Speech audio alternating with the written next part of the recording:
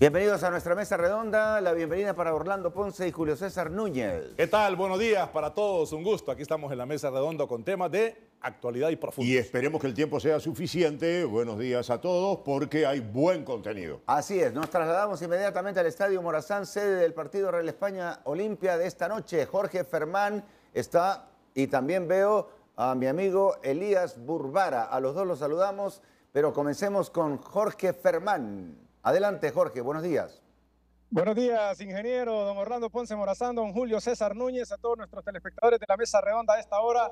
En efecto, acá en el escenario que hoy pues acapara toda la atención, donde el Real España recibirá al Olimpia y no solo eso, vuelve el fútbol al Estadio General Francisco Morazán, acá en San Pedro Sula, una cancha que ha sido pues eh, remozada, renovada completamente y que en las últimas horas pues ha tenido también eh, mucho trabajo que hacerle para que llegue en las mejores condiciones al partido de esta noche, porque aquí fue inaugurada hace algunos días de manera oficial, pero un acto meramente extradeportivo. Hoy se reinaugura con el eh, fútbol, con este clásico, eh, donde podemos ver con nuevos camerinos, camerinos de árbitros eh, muy lindos, como los podemos observar en pantalla, de primer nivel, con tinas de hidromasaje, mesas de trabajo, el camerino del Real España, donde está el presidente de la máquina esperando también para participar en la mesa redonda de primer mundo. Así que eh, el Estadio Morazán con otra cara, eh, con nuevos dogout, es decir, en general eh, listo para hoy. Pero qué mejor que escuchar a Enio Cubillo, el ingeniero encargado de las obras de esta nueva cancha del Morazán y que también lo hizo en el Estadio Nacional Chelatucles para que nos explique el proceso que ha pasado esta cancha, sobre todo en las últimas horas y hoy, día de partido entre Real España y Olimpia. Se llevaron a cabo los duelos. Sí, buenos días a todos. Este, no, la verdad que las condiciones para el, para el partido, eh, como siempre lo hemos comentado, nosotros trabajamos con parámetros internacionales. El día de hoy eh, trabajamos mucho lo que es la dureza, la altura del terreno de juego. Tuvimos aquí tres, cuatro días que no se, le, no se intervino con corte el terreno de juego. Entonces, bueno, una de las principales eh, características en las que quisimos trabajar a partir del miércoles eran eso, en la altura del terreno de juego para que el jugador tenga, tenga un terreno de juego bajito, con un poco el tema de la estética, ¿verdad? Que sabemos que es muy importante, es parte del show para la hora del, del encuentro. Y nada, el partido creo que se va a desarrollar en, buen, en buena lead, sin problema con el terreno de juego y después de ya mañana empezar a enfocarse en seguir con el mantenimiento rutinario. Sí, si nos explicas eh, eh, nuevamente ese proceso, porque es importante que a la gente le quede claro cómo eh, se, se, se, alista el terreno de las acciones para, para un partido como el de hoy, sobre todo por el proceso que ha pasado la calle. Bueno, nosotros a partir del miércoles empezamos a bajar de entre un milímetro y dos milímetros diarios el, el terreno de juego, el corte de la grama. El día de hoy tenemos en 20 milímetros el de, de altura el terreno de juego. Eh, hoy, hace, hoy es un día que hacemos doble corte para marcar mejor el patrón para la hora del partido. Desde las 6 de la mañana empezamos a hacer las labores de marcación del terreno de juego, ya lo que es el acomodado de los postes y todo. Como el juego lo tenemos en la tarde, entonces también mantener bien fresco el terreno de juego, tres, cuatro riegos en el día.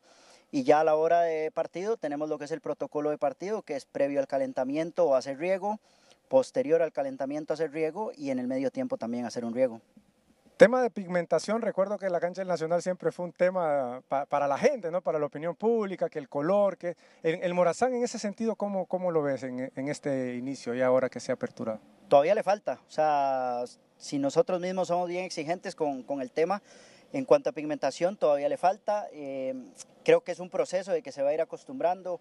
Aquí estamos arrancando el proceso apenas también de capacitación de personal, de todo esto, entonces eh, es el inicio, ¿verdad? Es el primer partido, se necesita que se continúe, que ya el, el, el mismo terreno de juego tenga partidos, que se vea el, los daños que sufre, que no sufre, y a partir de ahí ir trabajando en esa pigmentación, pero como le digo, para el día de hoy vamos a tener una muy buena presentación y lo mejor de todo, y es en lo que nos enfocamos en esta semana, es que el performance del jugador no sufra ningún problema. Se ha hablado mucho del tema del mantenimiento, porque sabemos que es, es lo más importante, una, a partir de que ya la cancha está lista, no es que termina ahí el trabajo, ahora viene lo más complejo. Eh, ¿Es igual el proceso a lo que se ha hecho en, el Chelatucles? Sí, o sea, nosotros lo hemos hablado claro y siempre lo hemos dicho. Yo creo que a veces uno le cae mal a la gente por decir las cosas como son, ¿verdad? Pero, pero el mantenimiento Eh, yo siempre se los he comentado a los muchachos, o sea, poner una cancha amarilla se pone de un día a otro. Hasta en el mismo día puedes poner amarilla una cancha, recuperarla no se recupera de un día para otro. Necesitas 10, 12, 15 días para recuperar un campo, por lo cual el día a día del terreno de juego es fundamental. O sea, sin el día a día del terreno de juego no existe un terreno de juego en el mundo que tenga buena calidad si no hay un día a día en el terreno de juego. Los riegos, si llueve, si no llueve, los cortes, revisar la maquinaria, lavar la maquinaria cuando se termina de, hacer los cortes y es parte de ese proceso de aprendizaje y de excelencia que estamos implementando para que conforme pase el tiempo del terreno de juego crezca en calidad. Bien, la explicación desde la parte del experto, el encargado de esta obra y que de igual manera lo trabajó también en el Estadio Nacional Chelatuclés, Enio Cubío costarricense, quien está pues cuidando al detalle y viene lo mejor porque ahora eh, apenas comenzará la actividad futbolística esta noche y a partir de ahí todo el trabajo de mantenimiento, como les decía, y lo podíamos observar en las imágenes anteriores, camerinos de alto nivel, realmente estoy bastante impresionado, no había tenido la posibilidad de de poder estar acá y, viendo in situ lo que han hecho con este estadio y lo de los camerinos eh, realmente dignos de fútbol de, primer, eh, de primera categoría, de primer mundo, el, camerino de los árbitros, el camerino del equipo visitante que tiene pues toda la representación de la selección nacional de Honduras, ambos, y el Real España, que es el equipo pues eh, de casa acá en el estadio General Francisco Morazán, pues también ha acondicionado su camerino con sus escudos, con sus colores, y eh, muy bonito para que hoy pues los estrenen, los estrenen estos camerinos, tanto Real España como Olimpia y la cuarteta arbitral y pues la cancha también sea estrenada por ambas escuadras que quieren eh, eh, presentarnos un gran partido hoy acá en el Estadio General Francisco Morazán. Ya está en el camerino de la máquina el presidente Elías Burbara también para platicar con ustedes, ingeniero, don Orlando, don Julio César Núñez, Vuelvo hasta Tegucigalpa, desde acá, desde la cancha del Estadio General Francisco Morazán en San Pedro Sur. Muchas gracias, Jorge Fermán. 375 mil lempiras mensuales cuesta el mantenimiento del Estadio Morazán. la misma cifra se paga para el mantenimiento del Estadio Nacional en Tegucigalpa. Sí, un punto de discordia, porque incluso el alcalde de San Pedro Sula, Roberto Contreras, manifestó que no estaban en condiciones ellos de pagar esa cantidad. Pero no sé qué va a pasar. El gobierno tiene pisto. Vamos con eh, nuestro amigo el presidente del Real España, Elías Burbara. Qué bonito está el, el camerino, qué bonito están los camerinos. Buenos días, Elías. Hola. Estamos ahí viendo a Elías. Ahí está Elías con la gorra de la España, ¿eh? con el presidente, Ahora solo hay un presidente en el España. Antes, sí, antes era, era un triunvirato. Ahora es que el España juega hoy, Julio, contra el Olimpia a las 7 y 15. 7 y 15. Un Olimpia que viene con cinco partidos sin ganar. Sí, sí, es un mes de agosto muy crítico. Se cerró agosto muy mal para, para Olimpia y bueno, este, debe recuperarse, ¿no? viene golpeado anímicamente, bajo en la tabla de posiciones y una España que lo encuentra en la cima, con 12 puntos, solamente una derrota y una muy buena campaña en agosto del Real España que ha aprovechado justamente la participación de los demás equipos grandes en la Copa Centroamericana. Y que independientemente del resultado de hoy, amanecerá como líder de todas maneras el equipo Real España. Advertíamos que un triunfo de Real España esta noche puede generar un distanciamiento con respecto al Olimpia casi histórico. Es decir, sacarle nueve puntos en seis jornadas. Sí. Es algo casi inédito, ignoro mucho. Y qué bueno que Real España regrese al Morazán, su casa, un estadio que está con cercanía, en el centro de San Pedro Sula, ir hasta el Estadio Olímpico es Un estadio que nos, que, nos, tiene tantos recuerdos bonitos, el Estadio Francisco Finales de España ha sido campeón ahí, varias finales. Elías, buenos días, ¿cómo estás?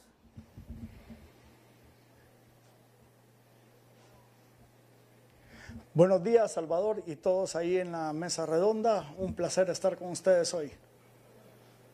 Bueno, pues eh, me imagino que te sentís feliz ahí en ese camerino del Real España, ¿no?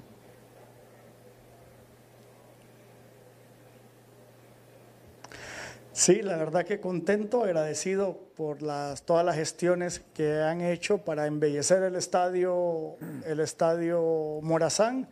Realmente camerinos de primer nivel, cancha de primer nivel, todo embellecido, así que nada más esperando el pitazo inicial para para volver a tener fútbol profesional en primera división aquí en el, en el Estadio Morazán.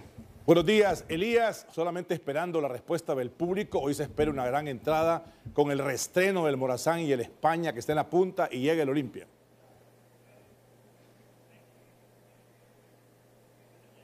Son 12 mil.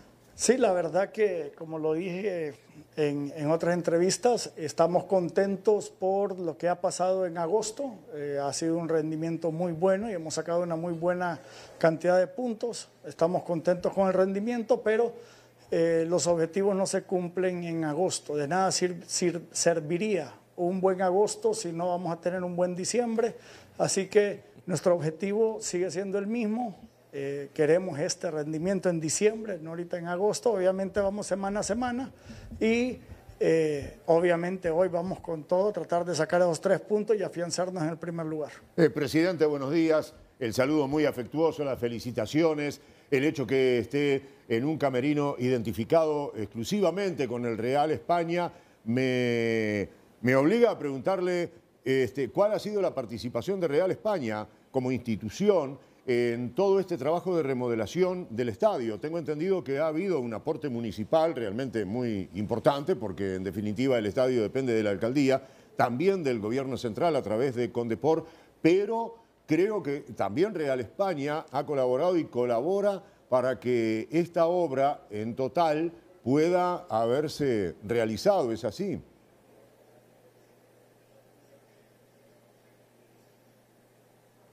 Sí, la verdad que Real España ha colaborado tanto con Condepor como del gobierno de aquí de la municipalidad. Entonces, eh, obviamente ha sido un granito de arena comparado a lo que ellos han aportado, pero sí, sí Real España colaboró con ambas instituciones para que el estadio quedara en las, mejores y últimas condiciones.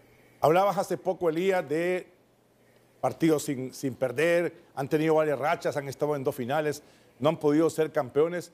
Que nos hables un poco, ¿te gusta el estilo del España con el que está jugando en este campeonato, tanto de local como de visita? ¿Qué te parece el estilo de juego que le está dando Justin Campos?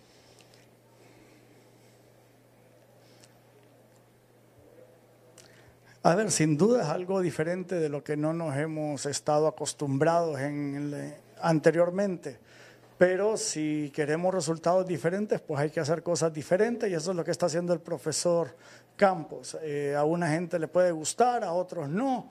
Ya es un tema de estilos y gustos, pero lo que vale rescatar es el rendimiento y el puntaje.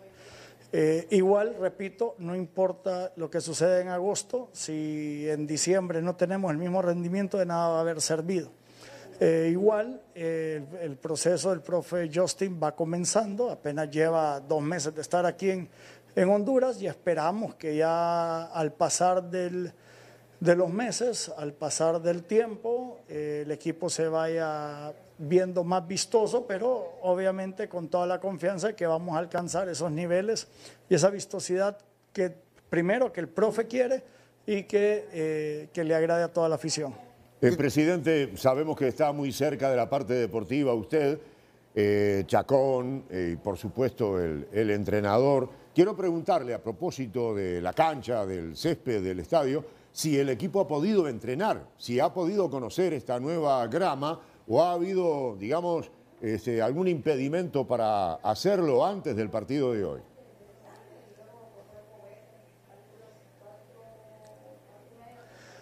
No, para nada. El día, el día sábado a las 8 de la mañana hubo un reconocimiento de cancha. Obviamente fue un entreno leve eh, previo a, un partido tan importante como el de hoy, así que no es como que pudimos eh, eh, hacer un, un entrenamiento fuerte pero el reconocimiento sí se hizo y, la percepción de los jugadores y cuerpo técnico fue, fue muy agradable.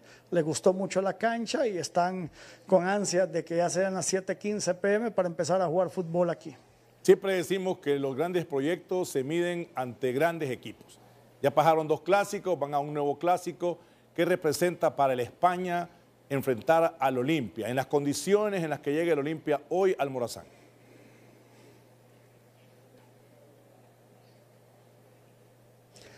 Eh, eso lo hace mucho más difícil el partido. Eh, más bien hubiera querido recibir a un Olimpia relajado y no tan presionado. Ellos vienen eh, con el cuchillo entre los dientes, con mucha presión por obtener resultados y eso los hace aún mucho, mucho más peligrosos. Así que el llamado a, nuestros jugadores y a nuestro cuerpo técnico es de que tienen que jugar con la presión de Olimpia y, y ponerse al nivel de ellos. Confiamos en todo el trabajo que se ha hecho y estamos seguros de que vamos a dar un buen partido y que vamos a sacar ese resultado sin importar cómo venga el Olimpia. Obviamente eh, no son las condiciones óptimas, viene, vamos a tener quizás el partido más difícil de todo el campeonato hoy, así que lo tenemos que enfrentar como tal y, jugar con todo hoy en la noche. ¿Sabes tú si se hizo alguna previsión en cuanto a planta eléctrica? Porque sabemos que en San Pedro Sula cortan la energía y si no hay planta eléctrica se podría el partido demorar. Me imagino que con la inversión que se hizo se habrá supuesto la compra de una planta o qué tipo de previsión se tomará para los partidos nocturnos en este hermoso estadio.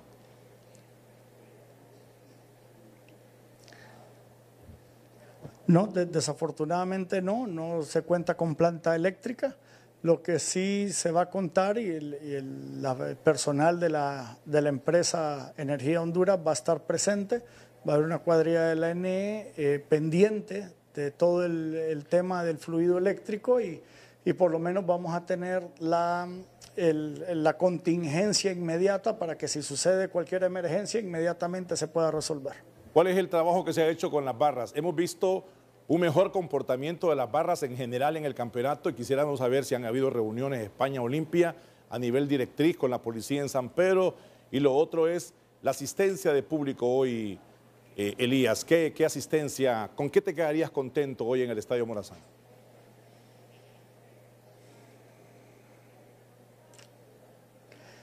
A ver, primero las aficiones eh, han mostrado algún grado de madurez eh, con las ganas que han mostrado de querer resolver la problemática de inseguridad en los estadios en el pasado. Hoy hay tres barras a bordo para resolver este problema de raíz y tenemos el compromiso de ellos que no va a haber ningún incidente ni ahora ni en el futuro. Entonces es un gran paso para eh, que las familias retomen su confianza de volver a los estadios. Y en el tema de aficionados se pusieron 12 mil boletos disponibles. Eh, esperamos pues eh, por lo menos pasar los 10 mil boletos vendidos. Y tú me vas a decir, ¿por qué tan pocos? Bueno, el, Recordemos que Real España siempre ha tenido una política de tener acceso a todos los, niños gratis, todos los menores de 12 años acompañados de un adulto entran gratis, entonces 12 eh, mil boletos, son 12 mil adultos más niños, ya prácticamente llegamos a la capacidad del estadio. Entonces el mensaje es de que, y el llamado a la afición es de que no nos queremos quedar con esos boletos en mano, Así que el llamado es de que vengan a disfrutar en familia de un buen espectáculo deportivo. Esa coordinación que se ha realizado con las barras, no solamente a través de la policía, de los clubes, sino incluso de la propia alcaldía de San Pedro, provoca que esta noche, por ejemplo, la barra del Olimpia, identificada como tal, pueda ingresar, presidente, o hay una restricción en ese sentido? Porque yo sé que han habido algunos comunicados de la policía, pero tal vez la gente no tiene acceso a eso y no sabe cómo asistir. Me refiero al aficionado del Olimpia.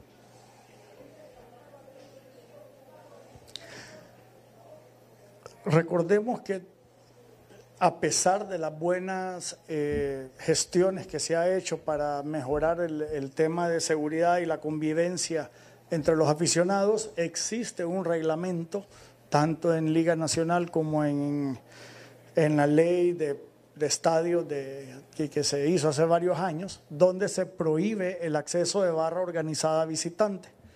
Entonces, eh, el hecho que, que demos pasos para, para mejorar el tema de seguridad en estadios no significa que podemos romper un reglamento o alguna ley.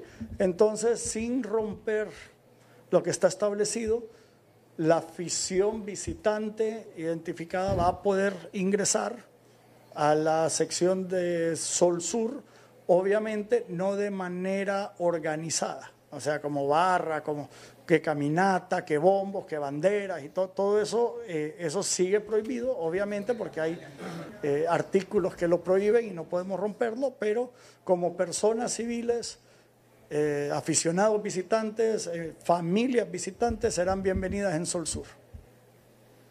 Bien, perfecto, Elías. ¿Le querés decir algo más a tu afición? Ojalá que la gente del Real España no pierda la oportunidad. Pueden ir a ver ahí, el estadio está bonito, me imagino que también las gradas, así que eh, tu despedida y esperando que hoy sea una fiesta en este estadio, que para mí es el estadio, el estadio más hermoso, chiquitito, todo está ahí metido. Me acuerdo cuando le ganamos a México ahí Así que adelante, presidente del Real España, que nos acompañó en esta primera parte de la mesa para sus palabras finales al público de la España.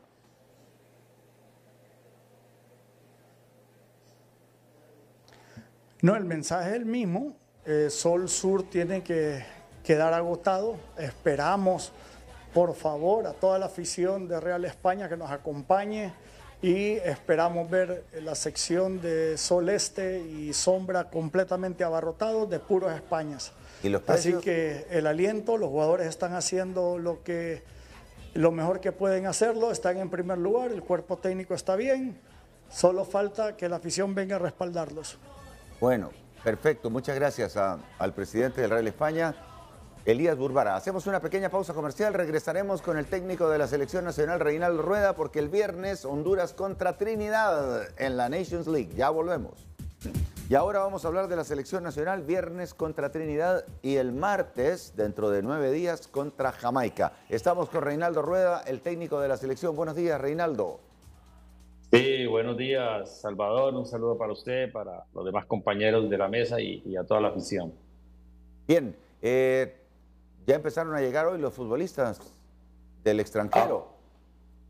No, por ahora eh, a la expectativa, usted sabe que ya eh, algunos eh, van a jugar hoy, otros jugaron anoche, hay algunos que llegarán ahora al mediodía, después posteriormente esperar los de la Liga Nacional que juegan esta tarde y esta noche, algunos llegan mañana, otros del exterior llegan el martes por sus conexiones aéreas y porque juegan esta noche eh, y quizás logran conexión mañana. Buenos días, eh, Real Rueda, Orlando Ponce, lo saluda. Preguntarle, ¿qué tanto le costó confeccionar esta nueva lista de, futbolistas? Porque tiene novedades y bueno por eso que usted esté aquí para ver las convocatorias de jóvenes, por ejemplo, como Juan Carlos Obregón, como Batiz, alrededor de esta lista de jugadores que vamos a ver ahí en pantalla y qué ha visto en estos jugadores para convocarlos a la selección mayor. Eh, gracias, buenas tardes, don Orlando. Sí, esa, es la tarea, el seguimiento jornada a jornada, lo que es la, actualidad y la continuidad de estos jóvenes. Eh, tenía desde el mes de enero el, tema de, acercar a, a Jesús Batiz, que ha venido desarrollándose allá en Toronto, eh, alternando en el primer equipo, jugando más en el segundo equipo. Eh, lo mismo que la trayectoria, el momento de, Juan Carlos Obregón. Eh, y bueno, buscando alternativas de solución en la parte ofensiva, que usted sabe que siempre hay que tener posibilidades por todo lo que significa que es unas, unas posiciones de juego muy sensibles, muy neurálgicas de, de lesiones y tener la, la, evaluación, acercarlos y mirar cuál es la respuesta de estos jugadores, además de, pues, de esta nómina amplia, una nómina muy ampliada por, por el acercamiento de estos jugadores jóvenes. Eh, también el tema de que son dos juegos continuos que por fortuna no, no viajamos.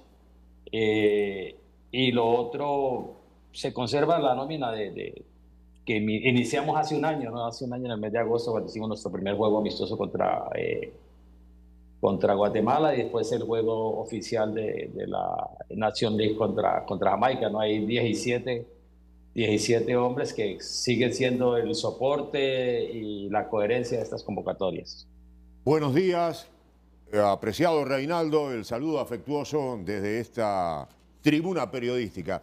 Quiero hacerle una pregunta relacionada con alguien que no, que no está en la selección, pero que como paisano suyo ha logrado eh, naturalizarse. Eh, ¿Qué representa eh, que, Arboleda sea hondureño y no vamos a hablar, digamos, de si debe o no estar en la selección, porque son, son temas trillados, ¿no? Pero quisiéramos una, una reflexión suya, porque además este, Arboleda, reitero, es, es, doble compatriota suyo.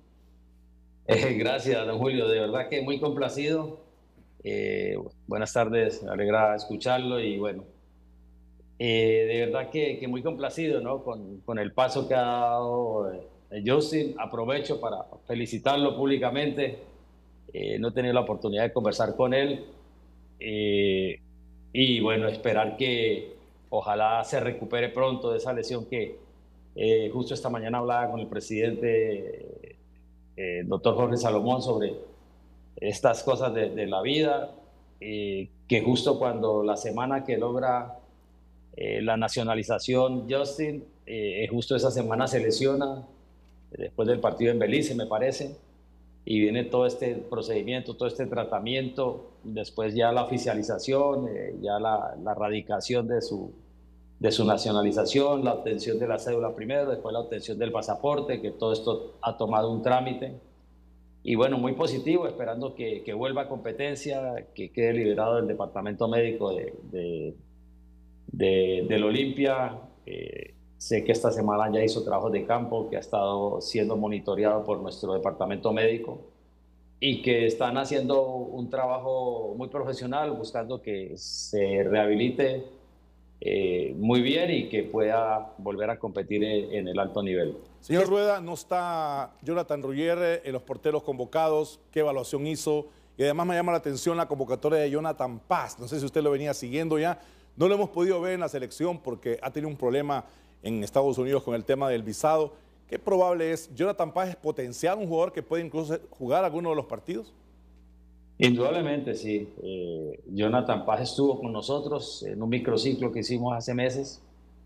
Eh, siempre me, ha gustado su, su característica de juego, eh, su comportamiento. Mm, cuando quisimos tenerlo, desafortunadamente me di cuenta del tema de su documentación, con, con, con eh, la situación que parece que ya se va a solucionar, que ya, ya, ya está en esa vía. Eh, y bueno, eh, creo que ha venido con buena continuidad, un jugador con características muy especiales en, en, esa, en esa posición tan, tan importante en el juego. de modo que ojalá, ojalá que podamos tenerlo para el futuro en el tema de, de, su documentación, que no haya ningún contratiempo y que ahora, bueno, en esta, en esta convocatoria lo conozcamos mejor, se integre mejor eh, y podamos disfrutarlo con la selección. Eh, Reinaldo, ¿se imagina que desde el viernes al mediodía, cuando la federación publicó la lista, los comentarios han ido creciendo con respecto a las posiciones, a los que están, a los que no están? Ah, eh, personalmente me ha llamado la atención algo. En la convocatoria de los defensas, que incluso apareció en pantalla hace un instante, aparece un solo lateral izquierdo que es Rosales, de acuerdo con los antecedentes recientes de cada jugador. Y han quedado sin convocatoria eh, otros elementos que han tenido proceso de selección en esa posición, como Arriaga, Martínez, incluso el chico Portillo de, Motagua. Eh, eh, ¿Qué reflexión nos puede, o qué respuesta nos puede dar a esta inquietud? Bueno, antes que todo, pues ha sido una posición neurálgica, ¿no? Ustedes saben que prácticamente perdimos un semestre con Ricky Zapata, perdimos otro semestre con Welly Decas, eh, esperándolos, eh, dándole oportunidad, jugando. Ricky ha venido con una serie de lesiones que lo sacaron de, la titularidad del, Motagua. En el primer semestre que llegamos nosotros, el segundo semestre ya prácticamente que eh, miré la alternativa de Wesley. Wesley ahora se paró no sé cuántos meses, desde junio hasta ahora que resolvió su situación. Eh, y, y entonces ahora se fue para el... Israel. Israel. Sí, se fue para Israel. Eh, se fue, acaba, se acaba de ir para Israel. Sí. es interesante eso del, del, lateral izquierdo porque incluso Clever Portillo es uno de los jugadores más destacados en la liga, viene haciendo mucho mérito podemos ver la lista. Eh, portero Luis López, Edric Benjíbar, Marlon Licona. sustituye a Ruggier. Y a Harold Fonseca. Y a Harold Fonseca, que ya había el problema estado. de Harold Fonseca fue que eh, rehusó asistir a un partido y es el mismo caso de, de, aquel de, de Rommel Kioto. Sí. Yo creo que por eso, no creo que por capacidad, sino que por eso tiene que haber disciplina. Nájar, lateral derecho, centrales, Maldonado, Debron, lateral derecho, Mayro Núñez, Jonathan Paz, central, Santos, que puede jugar de central o lateral derecho, Vega, que puede jugar de central y hasta de lateral izquierdo, dependiendo, y José Rosales, lateral izquierdo. Y los mediocampistas del Olimpia, los cuatro fantásticos, ¿verdad? No, no, no. No, no, no, no está José Mario. Los Pinto. tres mosqueteros. Los tres mosqueteros, perdón. Sí, sí. Que reduce a Álvarez veces. Pineda y Rodríguez, Joe Benavides del España, Alex López del Olancho, Kervin Arriaga del Partizan de Serbia, David Flores del Toronto, David Ruiz del Inter de Miami, Alexi Vega de Maratón. ¿Y los delanteros? Son cinco setos delanteros. Choco, Rubilio, Douglas Martínez, Juan Carlos Obregón y Brian Roche. Cinco nueves. Me imagino que el trabajo de la semana es el que va a determinar si Reinaldo Rueda eh, pasa por un momento el muchacho Obregón, puede tener minutos. Douglas pero- Martínez ya ha estado incluso desde la etapa de Coito. Claro. Ya pero ha tenido participación, hasta jugado partidos y ya ha marcado goles. Me gustaría ver la convocatoria de Trinidad porque Trinidad es un equipo dificilísimo también. Y además, lo que decía Reinaldo al principio, Honduras juega de local estos dos partidos. Seguro. Y en octubre juega de visita los dos. Sí. Ya va a ser más complicado. Sí, eh, esto no tiene nada Son que ver rivales con- más débiles. Esto no tiene nada que ver con la eliminatoria mundialista, pero sí. La caso- clave es aquí, los dos partidos Esos acá. dos partidos son Las visitas no son tan complicadas. Y te toca de local, porque después te toca de visita a Jamaica. De- ojo, son dos veces con Jamaica. Sí, dos veces tiene que ir a jugar a Kingston. Eh, goalkeepers, o sea, los porteros Denzil Smith, Aaron Enil y Christopher Billet. Defensores. Pobre David, que es ya de mucha experiencia, ¿Juega de en más Costa Rica? experimentado. ¿Cuál es Sí, en Costa Rica, sí. Y ahora está en Guatemala. Y está en Guatemala ahora. Justin García, Leland Arker, Alvin Jones, también ya es un jugador de mucha experiencia. Shannon Gómez, Andre Raymond y Tristan Hodge. Y los volantes, André Ramperzón. Este debe ser de origen brasileño. Daniel Phillips, Dantalle Gilbert, Duan Muquete, Noah Powder, Stephen Yates. Y los delanteros son Rion Moore, Ril Gill, Said Lee, Ryan Telfer, Nathaniel James, Kevin Goodley y Kyle Obrey. Yo creo que, bueno, este equipo no es tan poderoso como Jamaica. No. No es tan poderoso como Jamaica que tiene jugadores en primera división de Inglaterra. Porque Jamaica, la noticia que se dio ayer es que está cerca ya, está en otro- es como el caso de Arboleda aquí. Mason Greenwood, delantero que jugó en la Liga Premier, tuvo en las selecciones incluso menores de Inglaterra Claro. y es goleador ahora en el Marsella. Es probable que pueda estar en el partido de septiembre Tuvo un brillante pasaje Jamaica. en España. de Jamaica. De Jamaica, que es el. Mason Greenwood. Volvemos con Reinaldo. Reinaldo, estábamos viendo la, la formación, eh, los llamados del equipo de Trinidad. Eh, bueno, usted ha tenido experiencia jugando contra Trinidad, los conoce bien, pero este parece ser un equipo nuevo. ¿Qué nos puede decir de su rival de este viernes? Bueno, sí, eh, como todos estos equipos del Caribe, eh, creo que conservan siempre su, su estilo de juego, su característica, su impronta. Eh, esta, esta la vimos justo el día que perdimos nosotros con Costa Rica ahí en, la- en, la- en Dallas. Ellos jugaron el preliminar, jugaron primero que nosotros contra Canadá por la Final Four eh, de, la, de la Nation League del año pasado eh, conserva la misma nómina, conserva el mismo cuerpo técnico hace tres años y medio. Eh, posteriormente vimos otro juego que ellos hicieron contra Salvador Amistoso. Eh, es una selección pues, que tiene esa huella de trabajo de tres años y medio con el mismo cuerpo técnico, eh, eh, los mismos jugadores. eh, es un equipo eh, muy, muy físico, con un gran biotipo, con un estilo de juego muy directo, con transiciones directas eh, un equipo muy atlético, muy combativo que, que creo pues es, corresponde a lo que ha sido la característica, inclusive un, un, fu- un juego más directo que, que anteriormente el que hacía Trinidad cuando tenía otra generación como la que enfrentamos nosotros hace años. ¿no? Señor Rueda, eh, hablando del Sí. nivel de, de jugadores, eh, hay, una, hay una merma futbolística evidente en los jugadores de Olimpia, por ejemplo. No sé si es porque tienen más carga de trabajo, han descansado menos. Carlos Pineda, Jorge Álvarez ha bajado su nivel. el mismo caso de Edwin Rodríguez.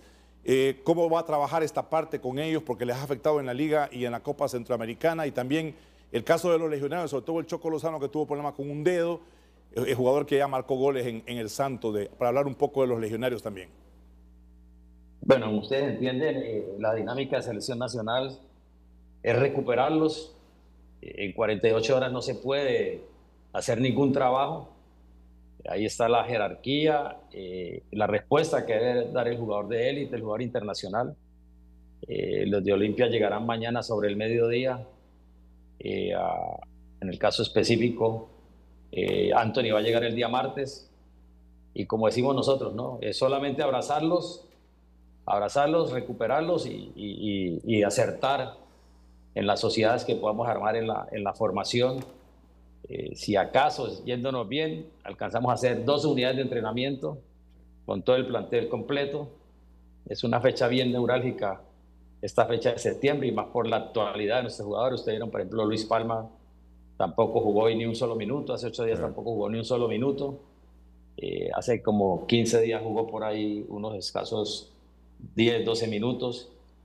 Eh, de modo que eh, con, con, estos jugadores ningún trabajo. O sea, es solamente eh, ningún trabajo entre comillas, ¿no? porque siempre se alcanzan a hacer unas unidades de, entrenamiento desde el punto de vista teórico, en análisis de video, en recuperarlos a ellos, en cuidarlos, en cuidarlos para evitar lesión por todo lo que viene desde el punto de vista mental y psicológico, bueno, naturalmente que también es ese trabajo, un trabajo en ese sentido, tratando de que, de que ese, ese mal momento que, que viven muchos eh, por su actualidad en los clubes lo superen con la otra dinámica que se hace en la selección de integración, de, de, de, lo que significa estar en una selección nacional, donde la convivencia de una selección nacional a veces te, te hace reaccionar por todo lo que significa la exigencia con, con, nosotros mismos, con nuestra profesión, con la afición. Y bueno, es, es, lo que tiene que sacar cada jugador en, los momentos difíciles, ¿no? Ya eh, en menos de 72 horas tiene que dar el, el 500%, como digo yo. Eh, Reinaldo, usted hizo referencia a, a un tema puntual, el, el, psicológico, y en la lista de arribos a Palmerola que nos entregó Edwin aparece Orlando Caicedo. Y le pregunto, porque hace una semana un futbolista en la liga fue amonestado, el árbitro se acercó y el futbolista le pone la mano en el pecho y lo aleja al árbitro y el árbitro lo expulsa. Ayer otro futbolista estaba sobre la cuerda floja, caminando sobre la cornisa de la roja, sabía que le habían perdonado la vida y en la próxima intervención que tiene, hablo del defensa de Juticalpa, este, entra de una manera, pero irracional sobre el rival.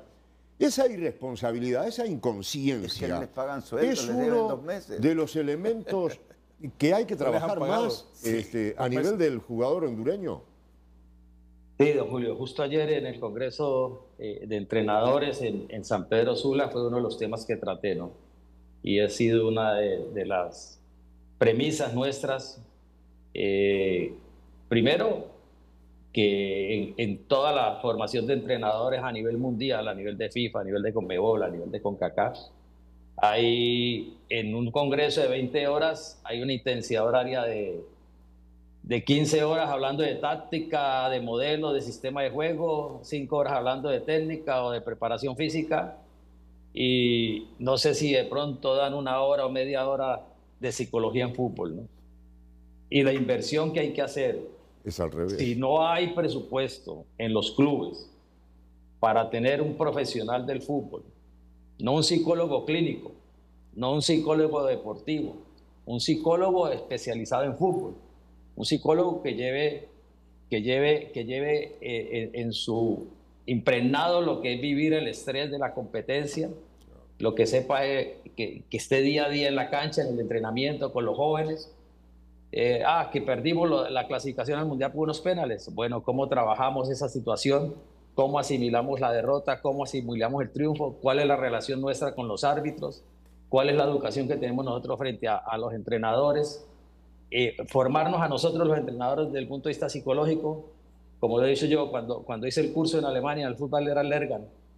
eran cuatro horas semanales de táctica equipo y eran cuatro horas semanales de psicología en fútbol, de todo lo que es el conflicto, las relaciones entre jugadores, jugadores directivos, jugadores medios, la relación con los medios, la relación con el árbitro, la relación con la afición, toda una serie que la misma Liga Nacional te da esos contenidos de estudio, esos contenidos de trabajo. Y es una problemática que tenemos en Latinoamérica. ¿Por qué? Porque no tenemos educación ni de nuestros jugadores ni de nuestros entrenadores del comportamiento de cuidar este producto que es nuestro, que es el que nos, que nos apasiona, el que nos ha hecho profesionales. Entonces tenemos que todos cuidarlo porque es una responsabilidad de ustedes los medios, de nosotros los entrenadores, de los jugadores, de los directivos, de cuidar un producto que eh, todo esto deteriora, como lo que pasó en Copa América, la imagen de nuestra Latinoamérica frente al mundo, y es, una situación de, que tenemos que todos eh, eh, trabajar para ello, ¿no? Es, es, algo bien complejo, fue lamentable ayer lo de, lo de este joven Mendoza de Juticalpa, y así yo creo que se presentan muchos casos en toda Latinoamérica, no solamente acá en Honduras, pero producto de eso.